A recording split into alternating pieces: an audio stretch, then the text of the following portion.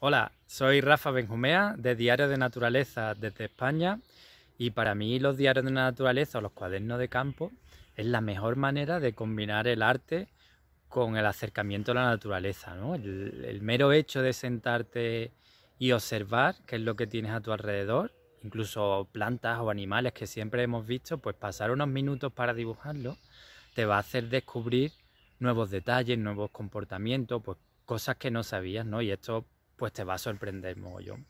Además, pues va a la hora de pasarlo a tu cuaderno, pues va a aumentar tu creatividad. Así que te harás una persona mucho más creativa, más artista, pero a la vez eh, muy naturalista, descubriendo pues todo lo que tienes a, tu alrededor.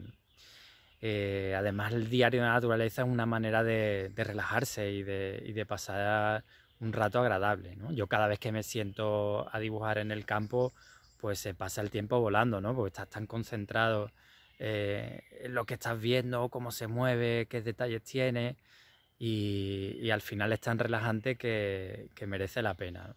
Así que os animo, os animo a que cojáis vuestros lápices, vuestros colores y vuestro cuaderno y que paséis una semana de diarios de naturaleza a tope y que, y dibujéis muchísimo y descubráis. Happy International Journal Week and see you soon.